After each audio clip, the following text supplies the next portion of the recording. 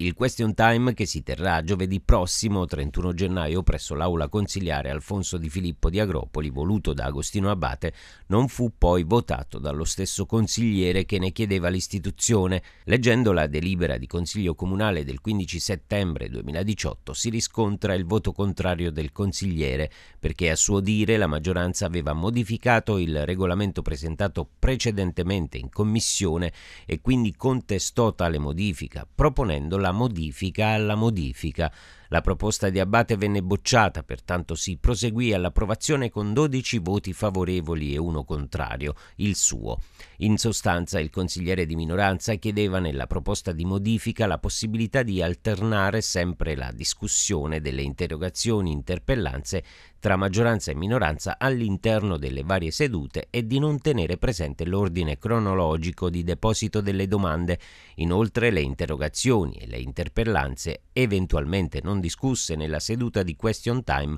dovevano essere inviate alla seduta successiva e discusse sempre in ordine alternato tra quelle presentate dalla minoranza e quelle presentate dalla maggioranza, indipendentemente dall'ordine cronologico di deposito. Tale modifica non fu approvata per strategia politica della maggioranza, ha dichiarato il consigliere, pertanto fui costretto a votare contro. È interessante ora sapere quali saranno le interrogazioni interpellanze del consigliere Agostino Abate e consolato Natalino Caccamo che rappresentano la minoranza e quella di Gisella Botticchio che già durante il suo insediamento al posto di Monica Pizza aveva interrogato qualche consigliere.